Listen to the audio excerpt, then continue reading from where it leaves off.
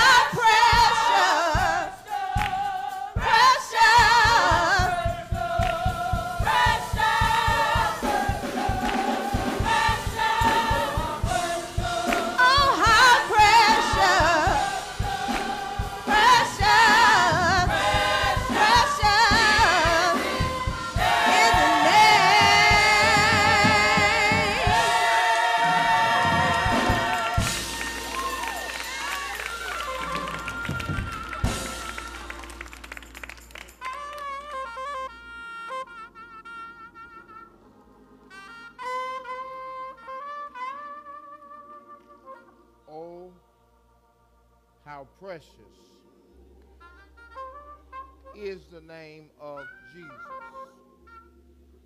Can't nobody do me like Jesus. He's my way out. He's my way in. And he's my way through. Amen. I love calling upon the name of Jesus. Eternal God, our Father, we're grateful and we're thankful again for this blessed opportunity to stand behind this sacred desk. Thank you for the word that you've given, and thank you, God, for how we will receive it, and thank you for what it's going to do in our lives. Father, we pray for forgiveness of sins, the cleansing from unrighteousness, and we pray again that you would use us to glorify you. Edify your people, O oh God. All of you and none of us. We pray that you would speak for us, speak to us, and speak through us. This we ask in Jesus' name. Thank God. Amen. Go with us today to the gospel as recorded by St. Luke. Go to the 24th chapter, we're going to read verses 1 through 8. And we're going to be reading from the contemporary English version. Amen. The gospel as recorded by St. Luke, the 24th chapter, verses 1 through 8 from the contemporary English version. God has given us a resurrection sermon on today. Amen. Praise the Lord. Once you find it, say amen.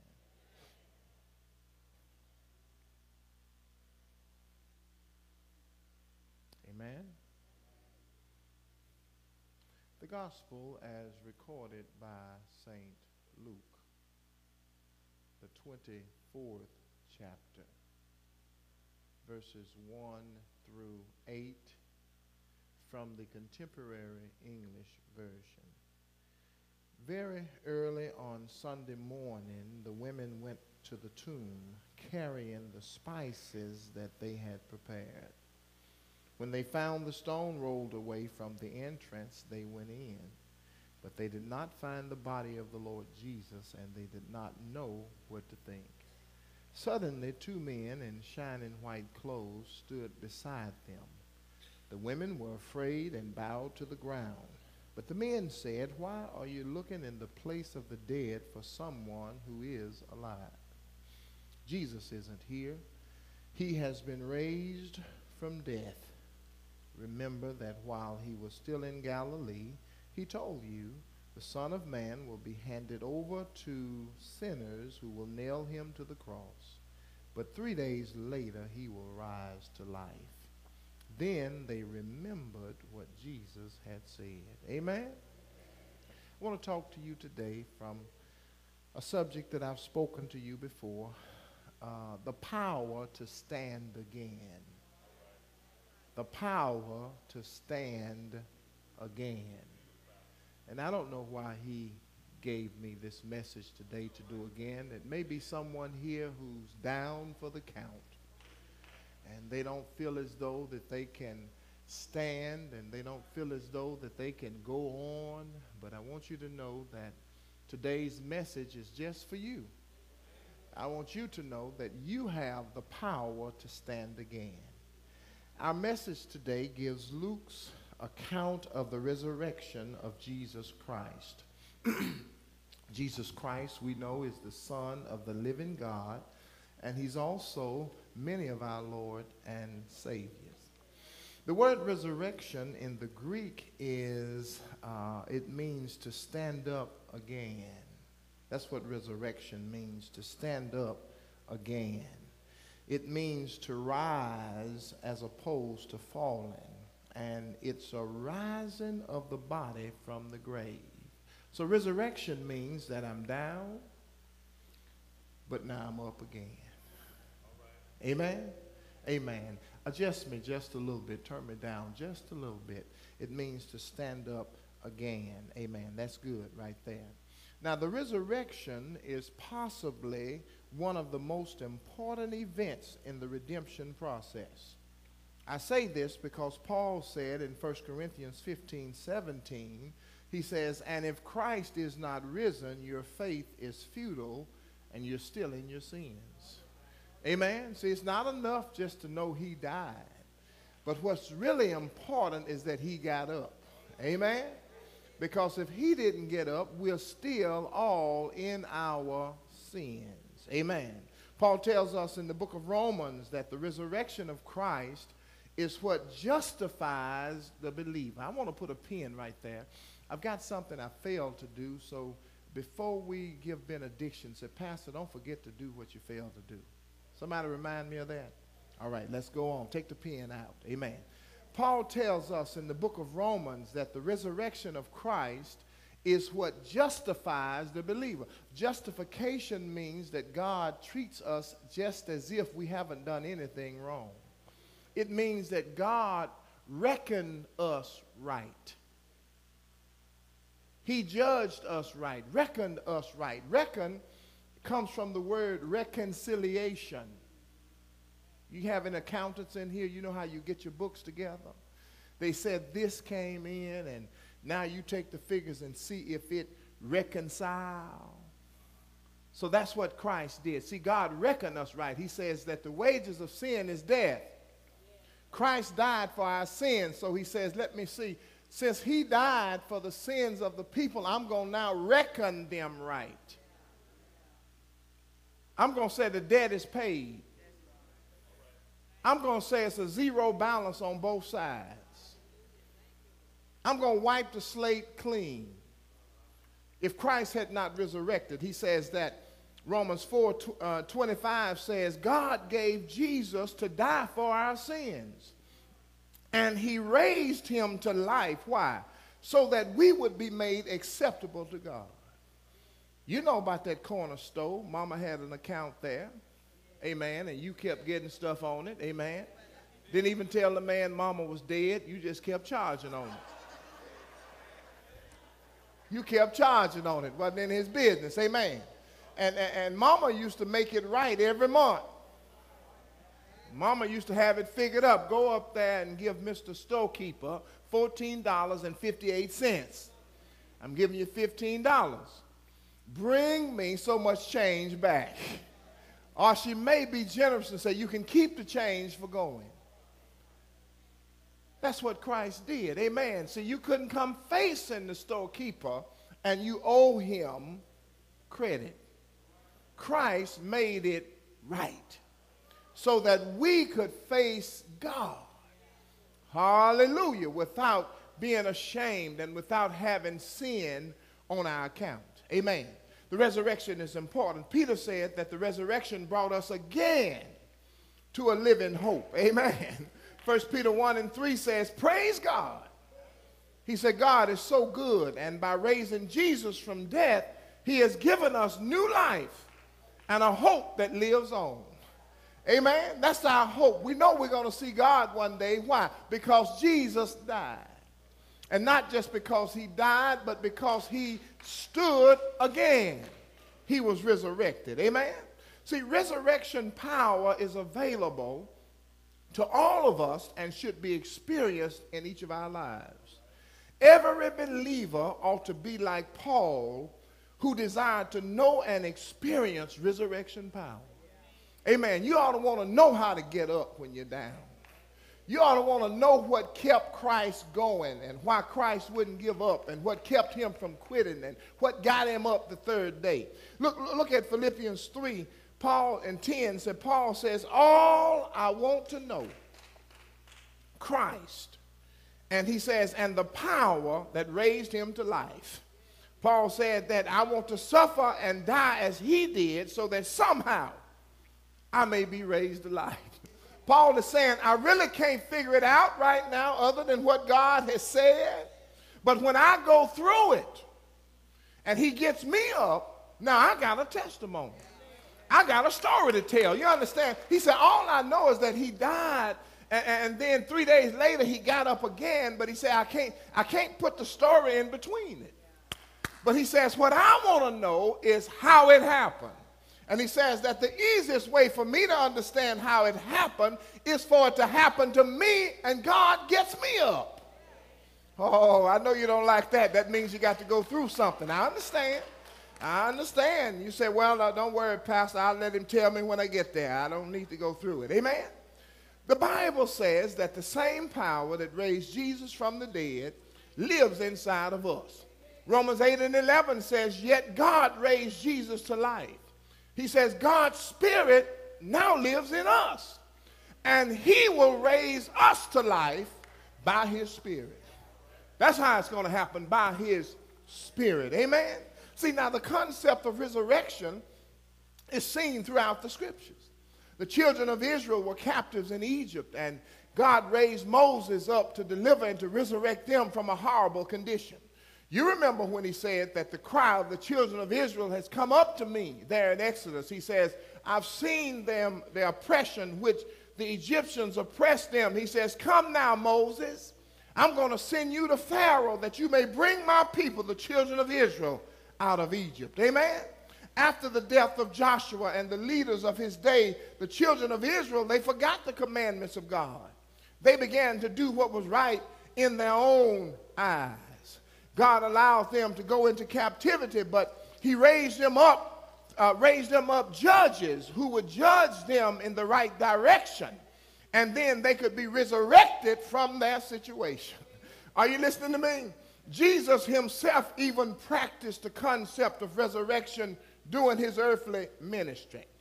Matthew 8 23 says that he raised Jairus' daughter. Matthew 9 23 to 25 say he raised his Jairus' daughter. It says, When Jesus went into the home of the official, he saw the musicians and the crowd of mourners. He said, Get out of here. This little girl isn't dead, she's just asleep. Then, verse 25 says Jesus went in to the girl's bedside and he took her by the hand and he helped her up. That's, that's, that's an illustration of the resurrection. Somebody in here, excuse me, somebody in here today need to ask Jesus to take me by the hand and get me out of this mess that I'm in. Amen. Jesus also raised the widow's son there at Nain. You know, they were headed to the cemetery, but Jesus went over there in Luke, the 7th chapter, 14th verse. Jesus went over and he touched the stretcher on which the people were carrying the dead boy. They stopped and Jesus said, Young man, get up. And the boy began to set up and speak. And that's what he's saying to somebody today get up. You don't have to be there with your head down. Get up. I know you've been through a lot, but you can get up. You've got the power to stand again. This message today is intended to encourage you and to let you know that we have the power to stand. It doesn't matter what you've been through, we have the power to get up from that situation. We have been equipped to come through storms. We've been equipped to endure persecutions. We've been equipped to stand up under trials and tribulations. And then when we come out, we can look the enemy right in the face and tell the enemy that I'm still here. Look at the enemy and let him know that what you meant for bad, God has turned it into my good we're able to stand because of who Jesus is and what he has done. Jesus said, I am the resurrection. I don't know what you're looking for to try to get you up, but Jesus said, I am the one who gets folk up. And Jesus said, Not only will I get you up, but I'll give you life. I came that you may have life and have it more abundantly. He said, He that believes in me though he were dead, yet shall he live. And whoever liveth and believeth in me, he says, you won't ever die. You may get down, but you won't die. Are you listening to me? Hallelujah. This text today gives us three reasons that are important to know and understand if we're to exercise our power to stand again. We have the power to stand again because of the prophecies spoken.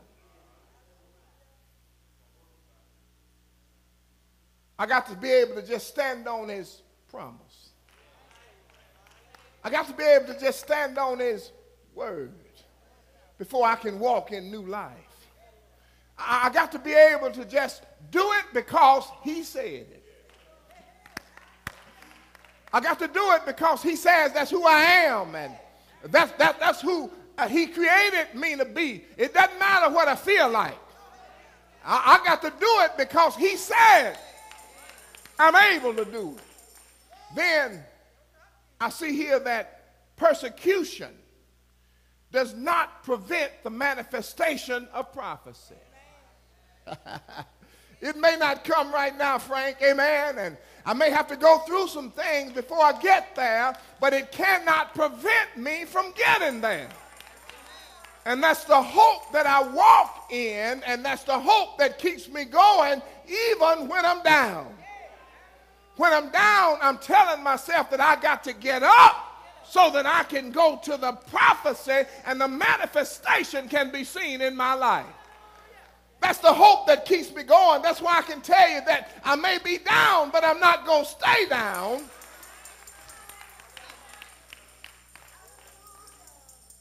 Then we have the power to stand because of the promises of the Savior prophecies spoken in verses 6 and 7. The women went to the grave. You had Joanna, and you had Mary Magdalene, and Mary, the mother of James, and there were other women. They had crucified Jesus, and they had buried Jesus in Joseph's new tomb.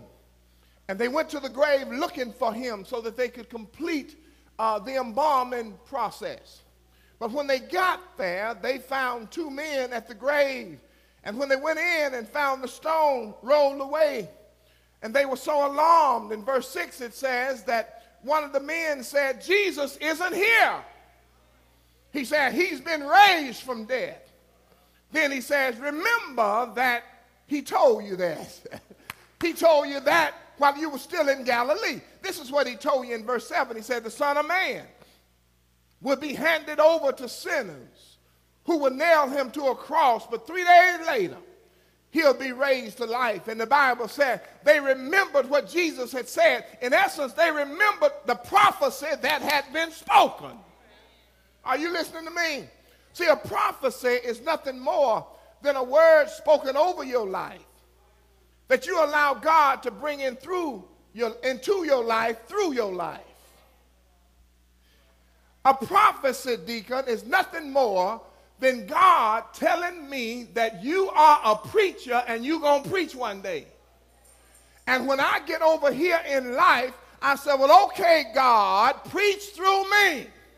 And then I get over here, the manifestation of what God said over there now is working through me.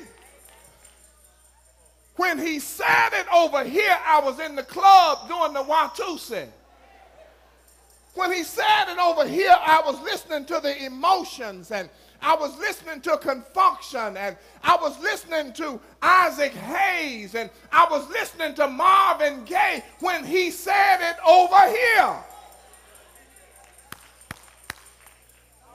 And in between me going to the clubs and in church every now and then and riding in my car, I gave up to the prophecy. And now over here, what God said over there, when it didn't look like it was going to come to pass, has manifested through my life. And it didn't happen because I wanted it to, but it happened because God spoke it in my life, and I received what He spoke even when I didn't feel like I was could do it. Are y'all getting this? You sitting out there, you got the power to do something.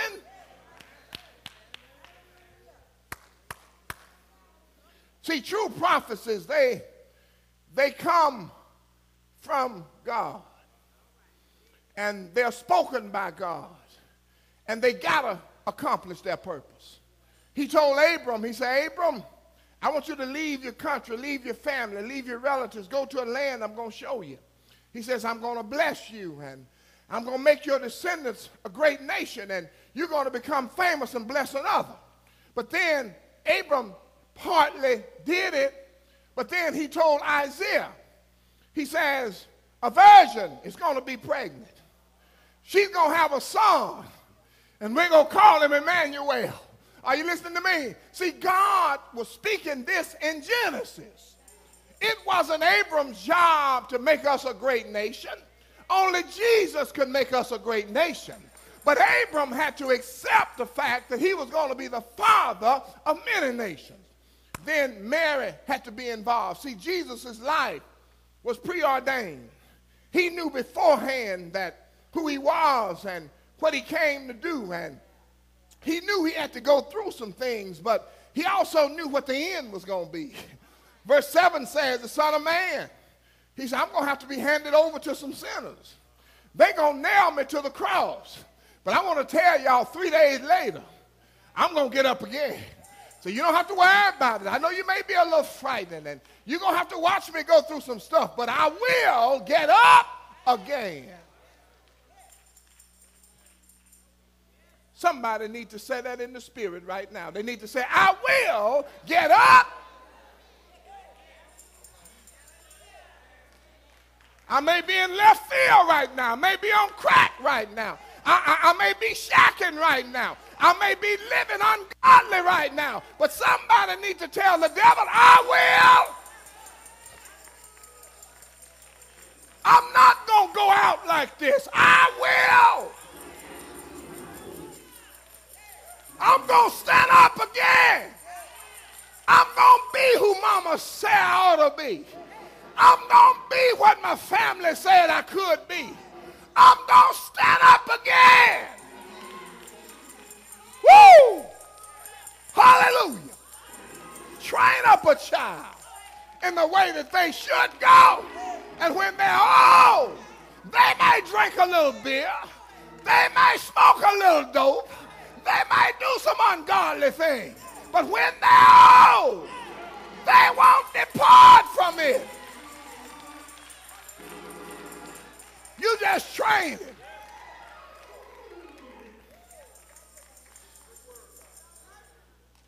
Jesus had prophesied this over his life. Luke 9 22, Jesus told his disciples, he said, the nation's leaders, the chief priests, and the teachers of the law they're going to make the Son of Man suffer. He said, they're going to reject me and kill me, but three days later, he says, I'm going to get up again. He told the 12 apostles in Luke 18, he took them aside and he said, everything that the prophets wrote about me, it's got to happen. He said, but he will be, I'm going to be handed over to the foreigners. They're going to make fun of me and they're going to mistreat me and they're going to spit on me and they will beat me and kill me, but three days later, he says, I'm going to get up again. So since prophecy has been spoken over our lives, we also have the power to stand. You've got to understand that we've been predestined. We've been given a destination before we were even born. We've been predestined to be conformed into the image of Christ. Therefore, God works all things together for good you know what Paul said in Romans? He said, and we know that all things work together for good. Why? Because we love God and we have been called according to his purpose. You understand call. Do you understand call? Do you really understand call? You know, when you were having to pump water at home, and Brother Tate, you, you're a farmer, you understand that sometimes the cows have to have water, and your job is to slop the hogs, but mama and daddy, you understand they'll let you go play with your friends for a while. But when it gets a little late, you hear mamas come at the back door, Fred, Fred, come home. And she was calling me home for a purpose. Are you listening to me? I didn't have to wonder why she was calling me home. I knew it was time to pump water for the cows. I knew it was time to start slopping the hogs. And that's what I'm saying. He said, God has called us according to his purpose. Now, Brother Little John, sometimes if you want to get a little stubborn, you'll act like you didn't hear her.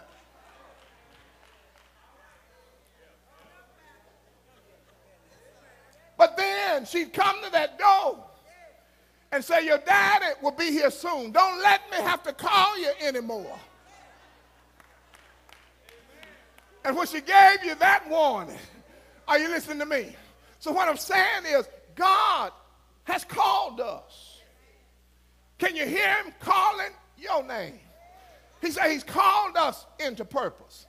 Verse 29, he says, For whom he foreknew knew before I was in my mother's womb, knew when I was in the spiritual realm, knew when my great, great, great, great, great, great granddaddy put a seed in his wife.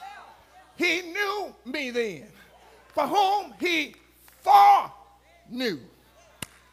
He also predestined. If I let you get here, I got a purpose for you. And he said, These he also called. You better get what I'm saying now. He foreknew me, then he predestined me, put me in the earth realm, let me do my thing a while, but he already foreknew what he want me to do, so he predestined me to do it. And later on down the line, he called me. Oh, my Lord. And he called me to be conformed to the image of God. He said, but those he predestined, he called. And those he called, he justified. Are you listening to me? I'm already justified. Christ has already done it. And those that he justified, guess what? He glorified can I stop right here? Beloved, now we are the sons of God. Right now, even when I can't do everything right, I'm already God's son. And it does not yet appear what I'm going to be. But when he comes, when he comes, I'm going to be like him. Yeah, I've got the power to stand again because of the prophecy spoken. But I have the power to stand again. Persecution does not prevent the manifestation of the prophet. Look in verse 7. He said, Now the Son of Man will be handed over to sinners who don't care nothing about him. Don't you feel that way sometimes with some of the folk you're trying to help? Do you feel unappreciated sometimes? And do you feel like they really don't care? And they, they, they don't understand what's really going on. He said, You're going to be persecuted, and the minute you give them what you have to give them, it's not enough. And look like you could do more, and look like you're the church. And if that's all you can do, should have been able to keep that. And I thought y'all supposed to love folk around here. And you know, you ought to have the love of God in you. And Hey, amen. I've been down for three weeks and I ain't heard nothing from you. And look like if you the pastor, you ought to be. Are you listening to me? Look like if he was so holy and righteous, he ought to know this. And no, no, there's a dead cat on the line. And he said, the Son of Man You'll catch up with him, Michelle. That's all right. He's going to be handed over to sinners.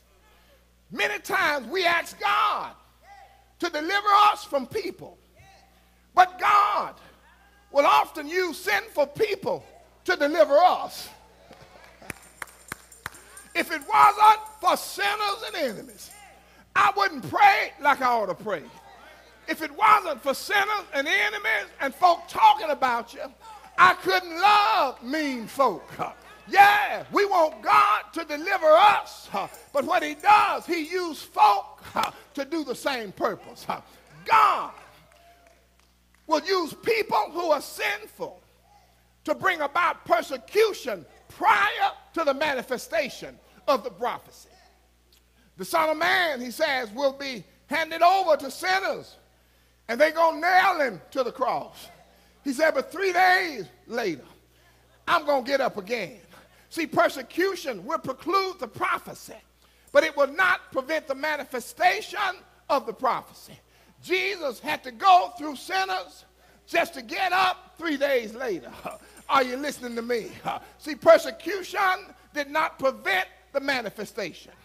Jesus told him in, in Mark 10 29, he said, You can be sure that anyone who gives up his home, his brothers and his sisters, his mother or his father, or his children, or land for me and for my sake, he said, you're going to be rewarded. You don't have to worry about that. He said, they're going to be given a hundred times as many houses, brothers, sisters, mothers, and children and pieces of land, uh, though they've been mistreated. Uh, and in this world, uh, you're going to have a persecution. but the next world, you're going to have eternal life. Paul put it like this Paul said, We often suffer. But we're never crushed. Are you listening to me? Persecution does not prevent the manifestation of prophecy. He said, We often suffer, but we are not crushed. He said, when we don't know what to do, we still don't give up. Yeah, he said, in times of trouble, God is with us. And when we are knocked down, Paul said we get up again. Yeah, I think I better close it because y'all kind of want to lose me here now. But I want to go to my last point. I want to tell you that we have the power to stand up again. I don't know about you, but you need to believe what I'm telling you today.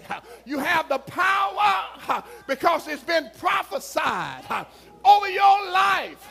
Yeah, persecution can't prevent the prophecy coming to manifestation.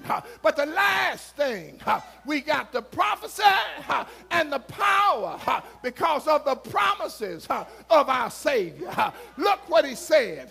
The Son of Man will be handed over to sinners. They're going to nail me to the cross. But three days later, I promise you, I'm going to come back to life. Yeah. Yeah. See, Jesus, he prophesied that sinners had to have their way, but sinners would crucify him. But he promised that he's going to get resurrected. I heard him say in John, the second chapter, destroy this temple, but in three days, I'll build it again. The leaders replied, It took 46 years to build this temple. What makes him think he can rebuild it in three days? But Jesus was talking about his body when he would be raised from death. Yeah, Matthew 12 some of the disciples and Pharisees and teachers of the law, they asked Jesus to show me a sign. But Jesus said, the only sign that you're going to get is that of Jonah. He was in the stomach of the big fish three days and three nights, and the Son of Man will be in the heart of the earth three days ha, and three nights. Ha. Yeah, ha. I heard him say in John 10, ha, no man ha, takes my life. Ha. I give it willingly. Ha. I have ha, the power ha, to get up, ha, but if I give it up, ha, I'm going to receive it back again. Ha. I heard him say again, ha, if I ha, and I ha, be lifted up from the earth, I'll draw. All men unto me. Jesus, he was delivered into the hands of sinful men, but he kept his promise. Jesus, he was betrayed by Judas, denied by Peter, and deserted by the disciples, but he kept his promise. Jesus, he endured punishment. He endured pain. He endured persecution, but he kept his promise. Yeah, the Bible says very early on Sunday morning, the women, they went to the tomb. They were carrying spices, which they had prepared. And when they got there, the stone had been rolled away. They went in, but they didn't find Jesus. Sometimes huh, we're looking for Jesus huh, in the wrong places. Huh. Yeah, huh, they didn't find his body. Huh. They didn't know what to think. Huh.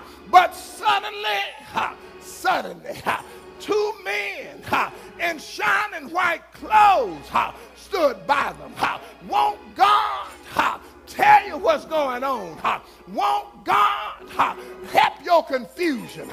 Won't God come to you when you need a word? Two men in shining white clothes. The women, they were afraid. They bowed to the ground. But the men said, Why are you looking for the living in the place of the dead? Jesus, huh, he's not here. Huh? He's risen huh, just like he said. Huh?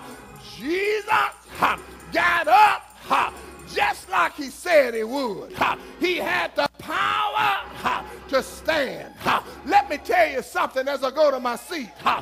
We also huh, have the power huh, to stand. Huh? It's been prophesied. Huh? No weapon huh, formed against you shall prosper. Yeah, it's been prophesied. Many are the afflictions of the righteous, but the Lord deliver them out of them all. We got, we got the power to stand. It's been prophesied. I heard him say, I go to prepare a place for you. And if I go, I'm coming again to receive you under myself. Come here, Paul. I heard Paul say huh, that with a loud command, with a shout of the archangel and the blast of God's trumpet, huh, the Lord, huh, he will return. Huh, and those huh, who died in Christ, huh, we're going to get up. We're going to get up. Huh. Bury me huh, wherever you want to bury me. Huh. But on that day, huh, I'm going to get up. Huh. Burn me up huh, if you want to burn me up. Huh. But on that day, huh, I'm going to get up. Huh. And then huh, I'm going to look at my hands. Huh. They going to look new. Huh. I'm going to look at my feet. Huh. They are too. Huh. Yeah. Yeah. Yeah. Jesus, huh, he died, huh, but he wouldn't stay dead. Huh. Early, early, huh, third day morning, huh, he got up. Huh.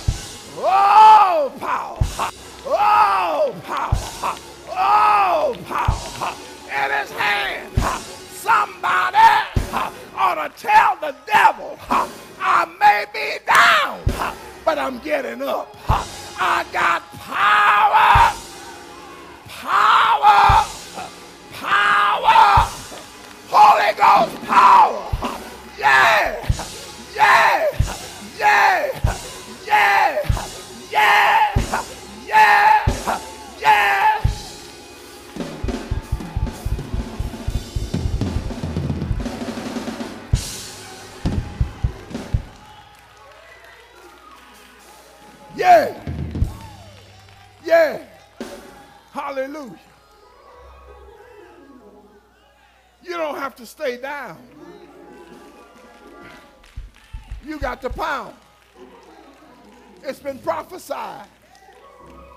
The power. What you've been through doesn't have the power to keep you down. You got the power. Jesus promised that we could do it. You just got to believe. There's so many people in here today that's been down, and some probably even wanted to give up. But thank God that God gave them another word. And they kept coming. They kept coming. They kept coming. And now they're standing up again. Folk had counted them out. Folk didn't want to see them do well. But they kept coming. They kept coming and they kept coming. God brought them out. And that's what I'm trying to tell somebody today. The power is in you. You just got to want to do it so that you can ignite the power. But the power is in you.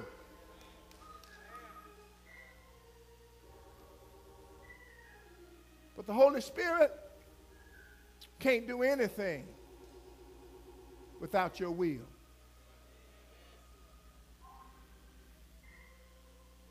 Now, this is what I want you to do. Say it under your breath. You don't have to say it aloud. So, Holy Spirit, help me to get out of this mess. I want to stand again.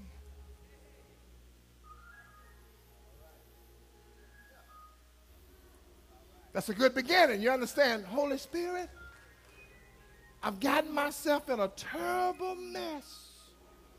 It's beyond what I can handle.